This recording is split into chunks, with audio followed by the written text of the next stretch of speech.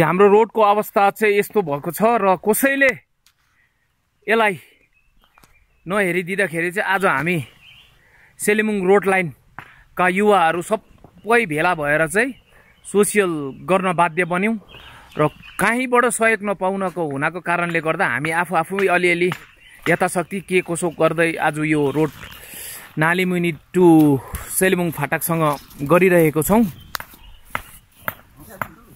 र कुनै पनि टी गार्डनले हामीलाई केही सहयोग गरेको छैन। र आज हाम्रै बलभुतामा हामी बेकारी युवा भाइहरूले यसरी गरिरहेको छौँ।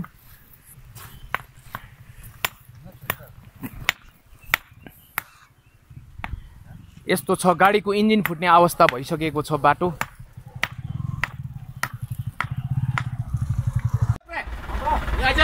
यस्तो छ गति हेर्नुहोस् है बाटोको लु लु लु।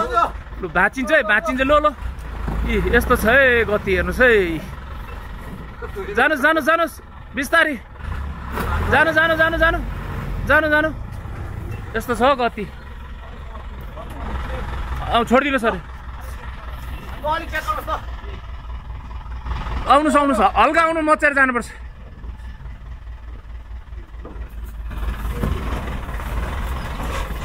आउनुहोस् आउनुहोस्। अँ हो त्यहाँदेखि मचिन्दा हुन्छ। अलिक साइड गर भाइ। चढ्दै त चढ्दैन।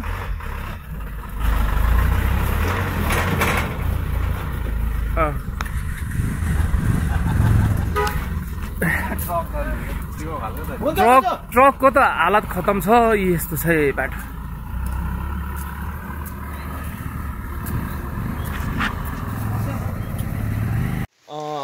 हाम्रो यो road line Selimung road line youth एसोसिएसनबाट चाहिँ आज हामीले सोसियल काम गरिरहेको छौँ यो रोड सम्बन्धित लिएर।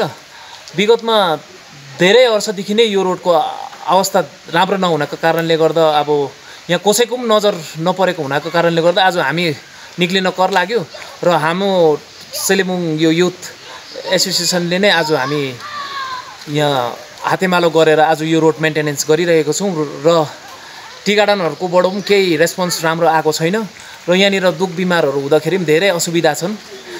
बाहिर जग्गाको गाडीहरू आउनु मान्दैनन् एम्बुलेन्सहरू आउनु मान्दैनन्।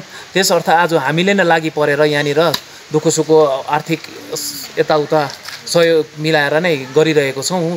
र अब यसमा भन्नु त केही छैन र अब बनाउने फर्दर बनाउने कुनै पनि एजेन्सीहरूले चाहिँ यो बाटो चाहिँ राम्रोभन्दा राम्रो बनाइदिनु पर्ने छ हो। र हामी सबै सेलिङवासी बस्ने नै छौँ त्यो एजेन्सीहरूसँग। र आज कति एजेन्सीहरूले सहयोग गर्यो गरेन टी गार्डनले सहयोग गर्यो गरेन त्यसमा भविष्यमा हामी यिनीहरूसँग बस्ने नै छौँ र दुःख सुख आज जे जस्तो छ हामीले गरिरहेको छौँ र गर्ने नै छौँ अब यसलाई। सेलिबुङ फाटक टु नालीमुनि यसलाई हामी काम फत्तै नै गर्नेछौँ दुःख सुख जे जस्तो भए पनि।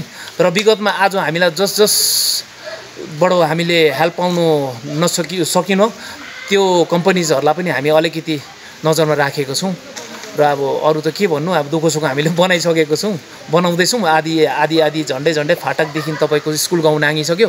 अब भोलि यहाँ से डाकमान डाँडादेखि तल नालीमुनिसँगको छ र गर्दा गर्दा अझै चार पाँच दिनमा हाम्रो काम सायद फिनिसिङ हुन्छ होला।